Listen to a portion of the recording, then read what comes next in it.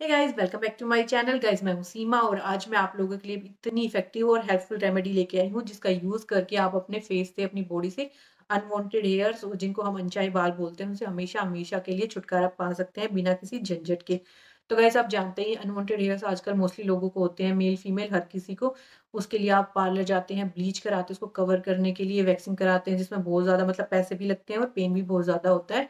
और कई बार ये आपकी जो प्रॉब्लम है, इतनी ज़्यादा बढ़ जाती है कि आपको लेज़र तक कराना पड़ता है। ज़्यादा मतलब आई एम हेयर और कई बार हार्मोनल चेंजेस होते हैं, कई बार आपका जो वेट है वो ज़्यादा बढ़ जाता है तो उसकी वजह से भी आपके फेस पर अनवांटेड हेयर्स आ जाते हैं। जो ये है अपर लिप चिन और बॉयज़ को इस एरिया पर आते हैं, जो बड़े ही गंदे लगते हैं फोरहेड पर कई बार बड़े ज़्यादा हो जाते हैं। कई बार ऐसा होता है कि आप किसी दवाई का रेगुलरली यूज़ कर रहे हैं तो उसकी वजह से अभी आपको अनचाहे बाल आ जाते हैं। कई बार ऐसा होता है कि खान पान की वजह से कोई दिक्कत हो जाती है, उस वजह से भी आ जाते हैं हार्मोनल चेंजेस या आपको कोई मतलब स्टेराइड का ज़्यादा यूज़ कर रहे हैं आप तो उसकी वजह से भी ये बाल आपको ज़्यादा आ जाते हैं, इसलिए मैं आपको एक ऐसी रेमेडी इजी सी बताने वाली हूँ जिसका यूज़ करके आप घर पर ही बड़ी आसानी से बिना किसी झंझट के अपने जो अनचाहे बाल हैं उनसे छुटकारा पा सकते हैं हमेशा हमेशा के लिए। तो आइए आज की वीडियो को हम बिना टाइम वेस्ट स्टार्ट करते हैं।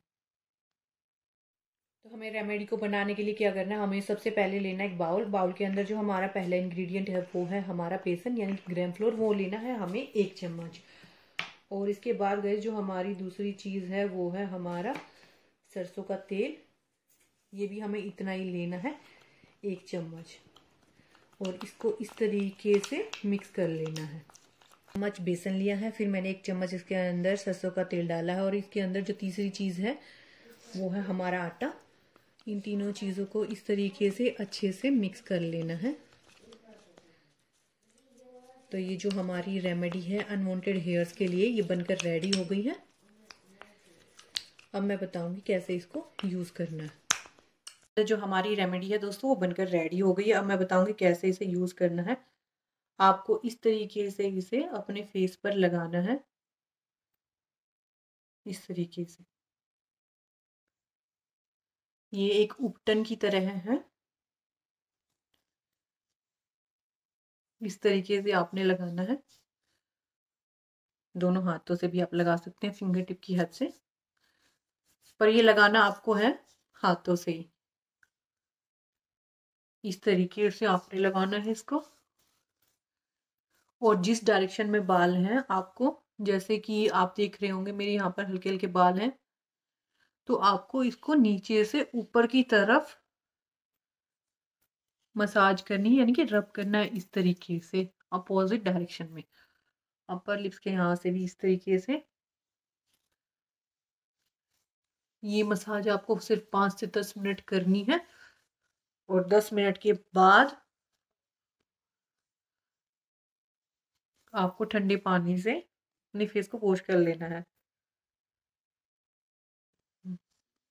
ये आपके फेस के लिए बहुत ही अच्छा उपटन है। इस तरीके से आप इसको चाहे अपनी बॉडी पर नेक पर, हाथों पर मतलब कहीं भी यूज़ कर सकते हैं, जहाँ ये नहीं कि फेस पर ही यूज़ करना है। इस तरीके से और अगर अपर लिप्स पे बाल है तो आपको इस तरीके से इसको यूज़ करना है।